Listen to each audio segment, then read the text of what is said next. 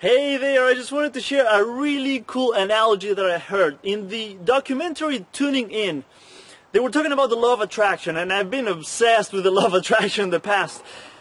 But I really like the analogy. It was Wendy Kennedy, and she was talking about it while channeling. But the analogy that she used was that when you place an order to the universe, right?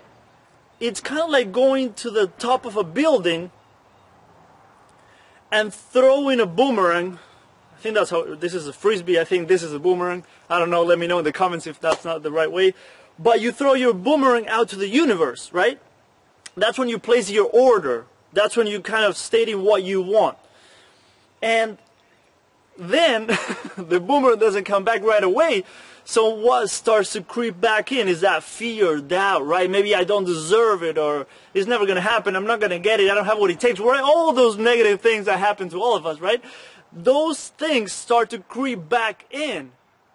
So what happens? Now we're, our vibration is kind of dropping. So we're kind of like dropping down a few floors on the building, right? And whether you believe all that, I don't know, it's just an analogy. I like it. I want to share it, right? But we start to lower our, our vibration.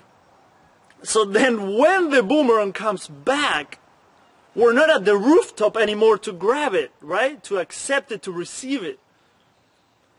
We're not at that frequency. We're not at the rooftop of that building where we placed the order.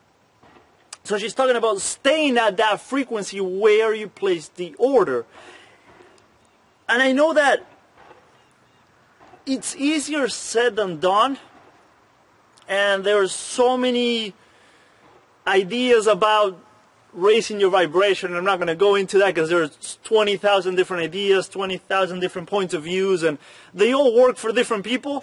Um, but I just like that idea because I feel like we all get discouraged maybe when we don't get what we want, right? And maybe that analogy can be a nice reminder of okay,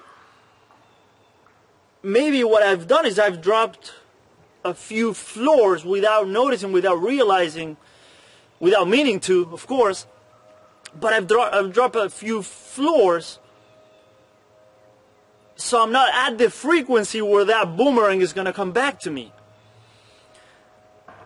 So maybe that analogy can just be a little reminder. I don't know. Maybe it can just be a little whatever reminder. I don't know. I don't know another word to use, but it can be what we need to say. Okay, maybe I'll try to go back to that place where I placed the order, and whatever helps you to get there, right? Gratitude and getting back to the emotions maybe that you felt when you had that dream, when you had that desire, right? That excitement, that joy, that whatever you were feeling. Maybe trying to get to that level might help you to actually attract and receive and accept and allow it into your life that thing that you were asking for.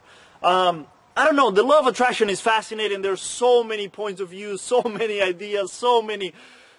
Uh, there's a lot of controversy around it too. So I just I love that analogy. So I just wanted to share that with you because it might be a nice little reminder for us to just I don't know, maybe get closer to what we want. So um, I just love that documentary. I'm very interested in people who do channeling and all that. So I'll put a link down below to that um, documentary.